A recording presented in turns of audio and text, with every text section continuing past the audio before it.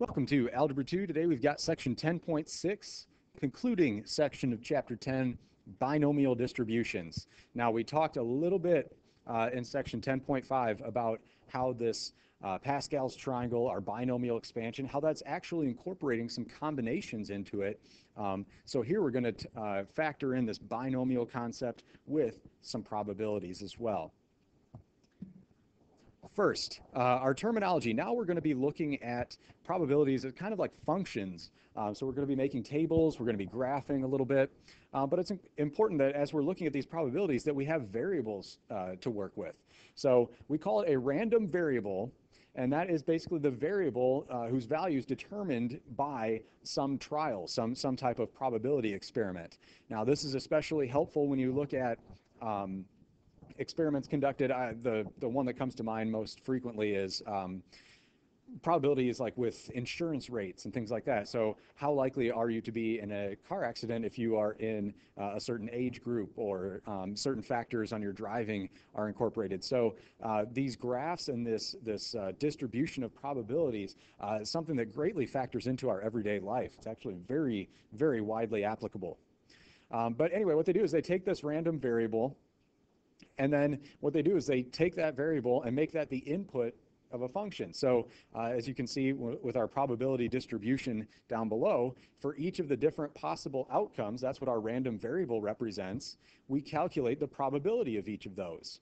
Um, so here a very basic one, rolling a six-sided die, uh, you can see that to get an outcome of one, that's my random variable, the probability, the output is a one-sixth. And then that's conducted for each of our other um, probabilities as well. Okay, uh, now what's the usefulness of this? Well, think about the types of probability problems that we've dealt with, the ands and the ors. Um, and in some cases, you know, if, if they were say, what's the probability of rolling um, greater than three, you'd say, oh, okay, that's the probability of rolling a three or a four or a five or a six. Um, so you'd have a lot of calculations to do if our data is already constructed in this type of table, then it really helps us to uh, kind of um, make short work out of the at least, at most uh, probabilities. Uh, it does a lot of the math for us.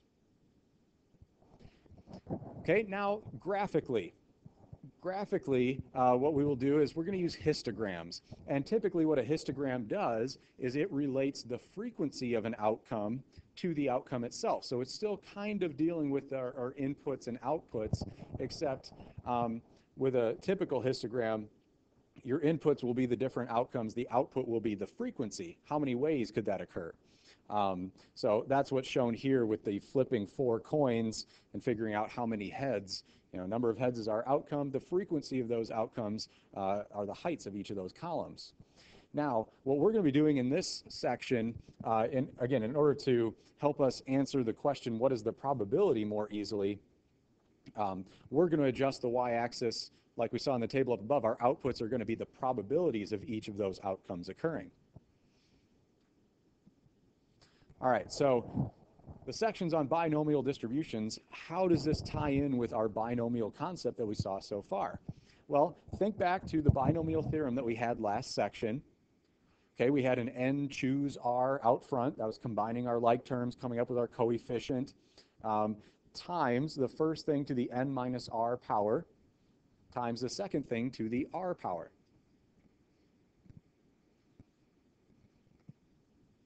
And what we're going to use is that same structure formula, but to find probabilities. Okay, um, so our binomial experiment, we can only use this nice little formula if we have the following conditions. First of all, there are n independent trials. Okay, so we're conducting so many tri trials, we're surveying so many people, we are flipping so many coins. That is a set number of trials. Uh, each trial could only be a success or a failure. The person says yes or they say no. The, the die roll is even or it is odd um, one or not the other.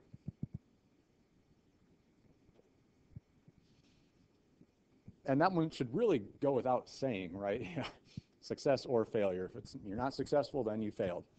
Um, the probability of success is the same for each trial. Uh, so we have a die roll or a coin flip or something, every time we conduct that experiment, there's the same probability for success each time. And what we get is an, an adjustment, and here, here is our formula. The probability of getting k successes is the result of this formula. And, and if you recall that, that little table that we had earlier, the inputs were the x's, okay, the number of different successes, number of different heads that could have shown up. Okay, and then the output was p of x. So here our output is p of that number of successes, and it's found using this formula. Now, I hate to teach and give you a formula and then just say, all right, go with it, put the numbers in the right place. So let's explain why this formula makes sense. All right. So imagine that we've got, um, well, we'll see this problem come up later on in the lesson. Imagine that we're doing 20 coin flips. Okay, 20 coin flips, and we want to find the probability that we get, I don't know, some number of those coin flips to be heads.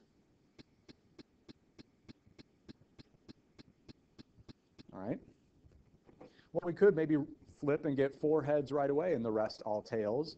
Or maybe we flip and get all tails with four heads at the very end. Or maybe we're flipping and every once in a while we get a head, but the rest of them are tails. So the NCK out front, the choose, the combination is we are choosing um,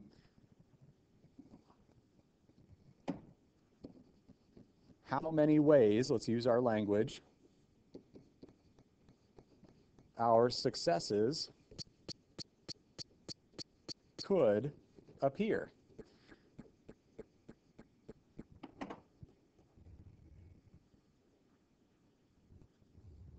And this is really making short work of, again, if you think of that coin flip example, uh, figuring out which of our successes are going to be where they're located, that would be a huge list of or probabilities. Um, and this is really condensing that for us.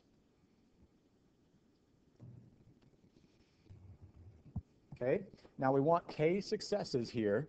So times the probability of success to the k power. This is uh, showing us the probability of k successes. Because if you think about it, probability of getting a head and another head and another head and another head, that would just be that same probability multiplied together four times. Well, we only wanted k successes out of our n trials, so we also have to multiply in the probability of getting those other 16, I think, in our hypothetical situation here, having those others not be successes. So this is probability of our trials minus however many successes, failures. Let's put that as a quantity.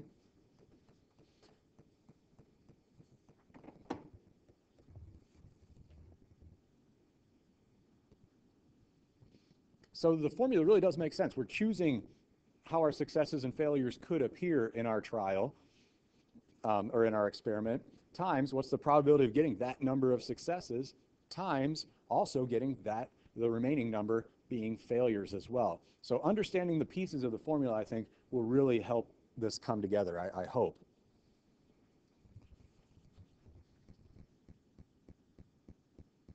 Okay, our first example. Make a table and draw a histogram showing the probability distribution for the random variable. Okay, So let's see, our C value, and then our P of C value.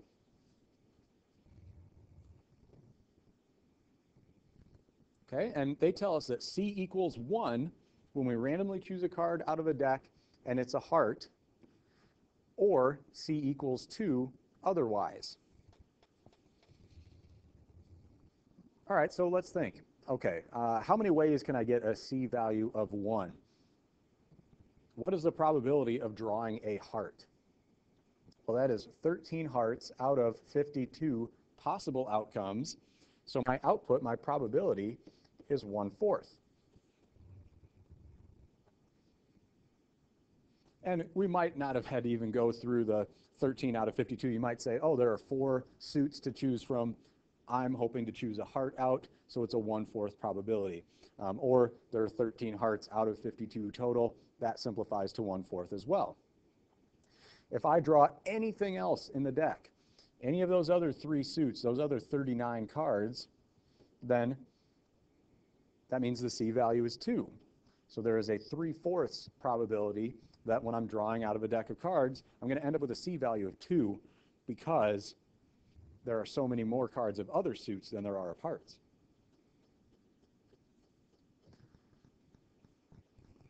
All right, now I've specially made some histogram graphs here, and if you want uh, to print histogram graph paper, there is some on my website um, to kind of help make this a little bit easier for your homework assignments.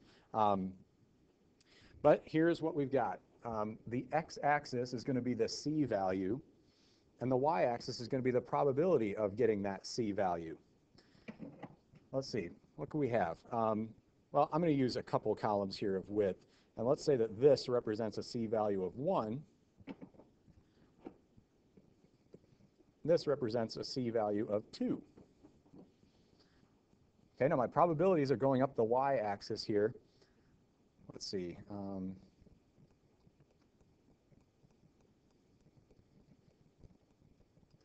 I did not put tick marks there. I wanted this to be a flexible graph uh, so you can kind of label it as you see fit.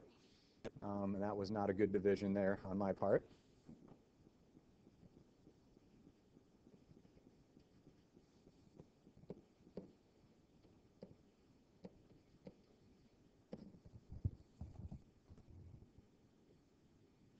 All right, there we have it.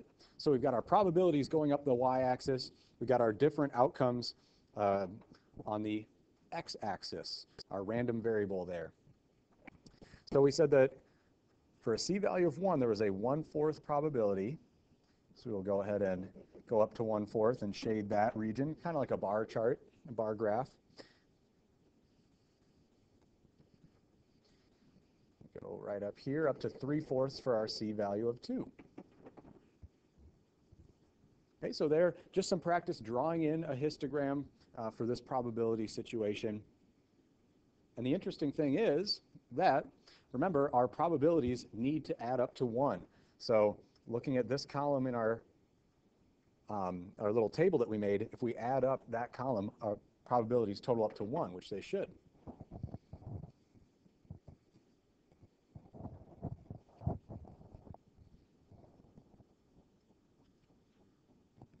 Okay, example two, here we're interpreting a probability uh, histogram, probability distribution, um, to determine what is the number that is most likely to be spun, and then letter B, the probability of spinning an even number.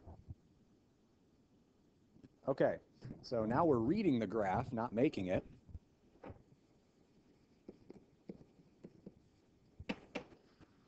So for letter A, the number that is most likely to be spun well, I'm looking at all the different random variables.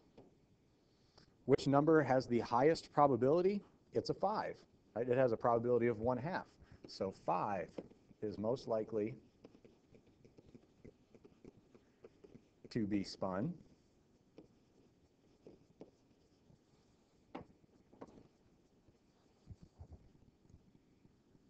And then letter B, what's the probability of spinning an even number? Well, again, here's why this, this work is so helpful. I've got a 10 or a 20, or. So probability of a 10 or plus probability of a 20. Those are the two even numbered outcomes I could get. So I look at the graph and find out, hey, the probability of a 10 is 1 sixth. Probability of a 20 is halfway to 1 sixth or 1 twelfth. So 1 sixth plus 1 12th, that's 3 twelfths total, or 1 fourth. So again, setting up those OR situations, really, really helpful to have a graph or a table there with our probability distribution already calculated. Okay, and you'll notice we haven't had to do any choose, any NCR or anything yet. Uh, we've been able to grind out the probabilities pretty easily. This is kind of a ground level entry uh, into this histogram probability distribution concept. But it's going to pick up some the pace here in a hurry. Example three, calculate the probability of flipping a coin 20 times and getting the given number of heads. So this means that we have a trial, sorry, 20 trials, and we're looking for a certain number of successes. We don't have to generate a huge table, don't have to make a huge histogram or anything like that, um, just using our new binomial distribution formula. So for the first one, we're flipping the coin 20 times. Of those 20 trials, we want to choose four successes to occur. Okay, times what's the probability of one coin flip coming up successfully as a heads? That's one half to the fourth power. There's our success to the fourth. Times probability of failure. That's one minus the probability of a success. That's not a success and that's going to be raised to the 20 minus 4 power to represent the other trials, the ones that were not successful. Okay, so we can type this into our calculator, use 20C4 times uh, 1 half or 0.5 to the fourth times 1 minus 1 half is 1 half to the 20 minus 4 16th power. And when we type that into our calculator, what we get for an outcome is 0.0046. So not very likely that we come up with four heads out of 20.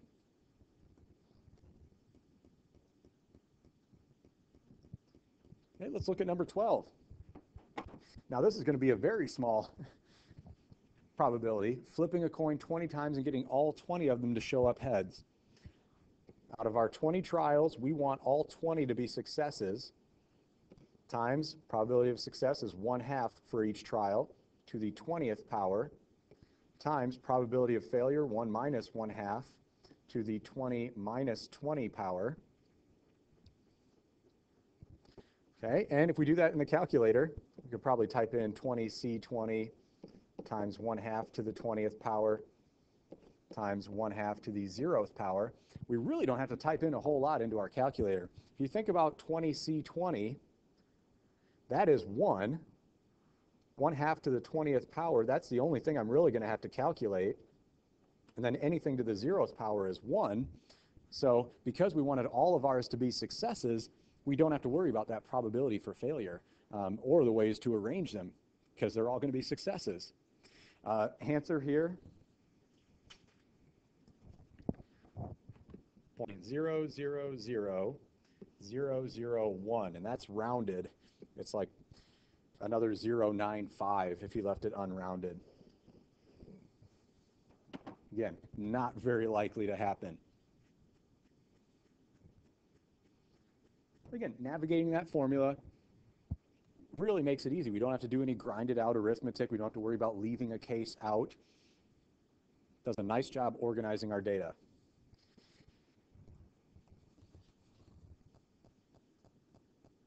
Okay, and our final example. According to a survey, 48% of adults in the United States believe that UFOs are observing our planet. You ask eight randomly chosen adults whether they believe UFOs are watching Earth. Okay, our first task is to draw a histogram. And I've got a little table over here, K successes. Okay, we could ask eight and all eight of them say no. We could ask eight, and all eight of them do say yes. Okay, and then we're going to use our histogram to answer the other questions once we have that filled in. Now realize that each table, each P of K, is going to be found using that formula that we just saw on the last slide. But that's a lot of work to roll through this nine times to fill in our table. I'm going to show you how to have the calculator help you out with that really quickly calculator does a great job at filling in a table. And notice all that's changing is the k value. So I'm going to pull up the calculator really quickly. And here's what I'm going to do. In the y equals menu, in parentheses, I'm going to hit math, probability, NCR. Oop, but I'm not going to do that just yet. In parentheses, of eight people, those are the eight trials I'm conducting, then we'll go math, probability, put in NCR. I'm going to have X number of successes right? That's where my input is going. The number of successes is changing each time. Times the probability of success, 48% of adults think yes. So success is 0.48 to the x power. And I want to delete that parenthesis out of there. Times probability of no, that's 1 minus 0.48, that's 0.52 to the, and I'm going to raise that to the 8 minus x power. Because of my eight trials, x of them are going to be successes. The remainder is going to um, be calculated when I do 8 minus x. So then I'll hit enter. So this is running through my formula with all those different x values. Now I'm going to go to the table. And you can see it stacks those probabilities up so I don't have to do it each time over and over and over and over again. Okay, so that's how I'm getting these decimals. Uh, calculator, again, a great help here. Um, so for zero, zero successes in my eight people that I questioned, that was 0.00535. Probability that one of those eight people says yes is 0.03948. Two people, I got 0.12754. Three people, it's 0.23547. Four people is 0.27169. Five people, 0.20063. Six people, 0.0926. Seven people, 0.02442. And all eight people, believing that we're being watched, 0.00282.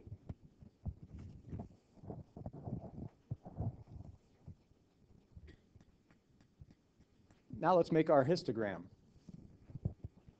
So remember, along the x-axis, that's representing our k value here, k successes. And we could have one, two, three, include zero there.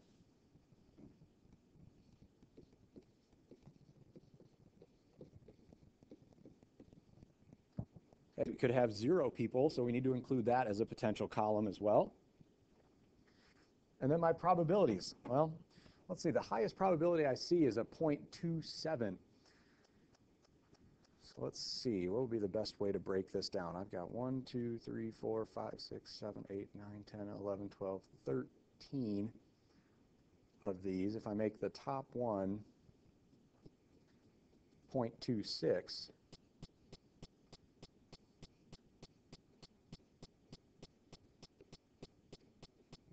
then I'd be going up by, what, 0.02 each time?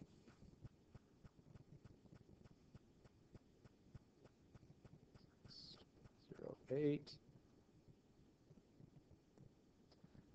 point one two,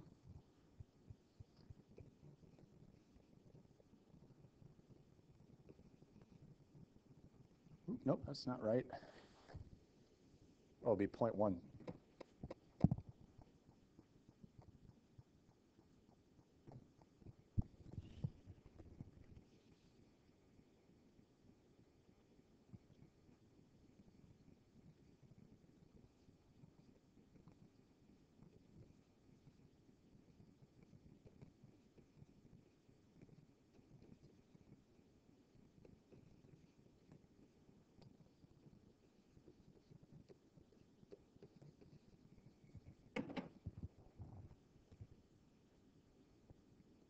Okay, I apologize for the delay. I was just trying to figure out how to space up um, my tick marks here in order to show the data, uh, make them easier to, to plot.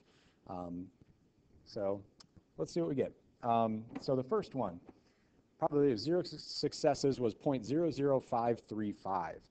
Well, here is 0.02 And we want much less than that, so this is barely getting filled in there. One was 0.03948, so that's really close to 0.04. Fill that one in.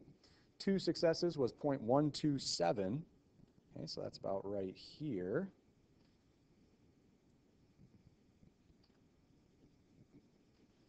Three successes was 0.23547, about right there.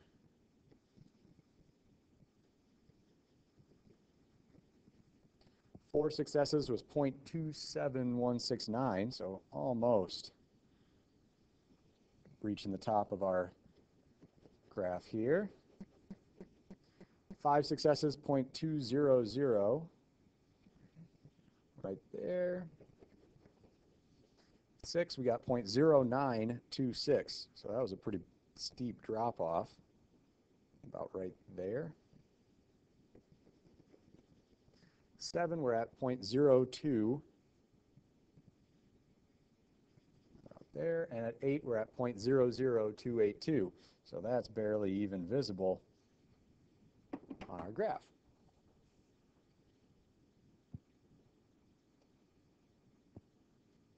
Okay, so we went through, did a little bit of work to calculate our table, um,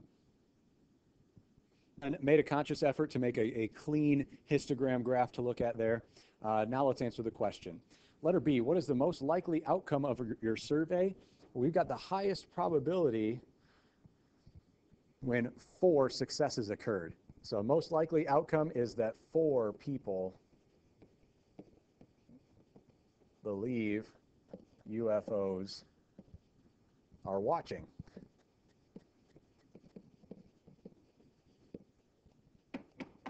And then lastly, letter C, what is the probability that at most three people believe UFOs are watching Earth? Well, think about what this means. At most three, that means zero or one or two or three.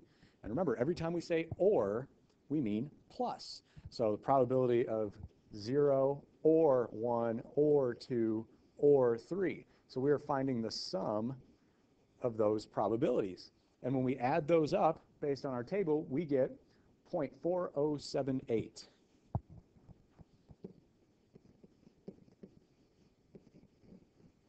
And that is an outcome between 0 and 1 so we can be satisfied in that, uh, that answer. It fits the context of the problem. All right, that does it for this section, section 10.6. A lot of calculator work, working with a new formula, well, not really new, but adjusting a formula to work with probabilities, um, and, and really just organizing data to make calculations easier. Here's a look at your assignment for this section.